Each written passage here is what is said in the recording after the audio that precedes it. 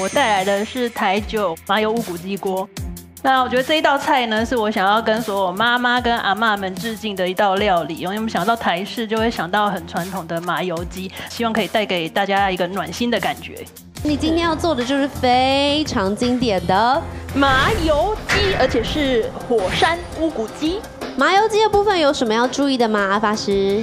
嗯，麻油跟姜是最重要的，一定要炒到香。嗯，如果你姜没有炒到香，在煮的时候那个香味不会出来。嗯，如果你真的炒到很香的时候，你还要拿它的那个姜味，可以最后再放一点姜磨成泥下去。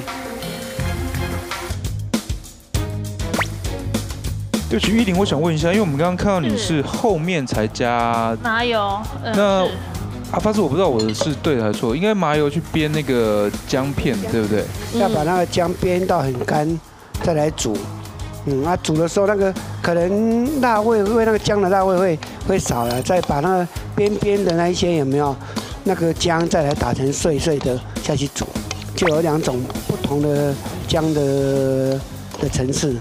嗯因为其实我平常自己会在家里煎那个麻油鸡蛋，嗯，我真的会就是用麻油把姜煸到很干很干，然后再打蛋上去，那姜就可以一起吃掉，太好吃。对，但因为我刚刚看他那样煮，我就觉得那个姜有一点点可惜了，因为他没有先煸过。哦，没有，他现在应该要做这个步骤了哦，他现在要做，哦，他被我们激到了，是不是？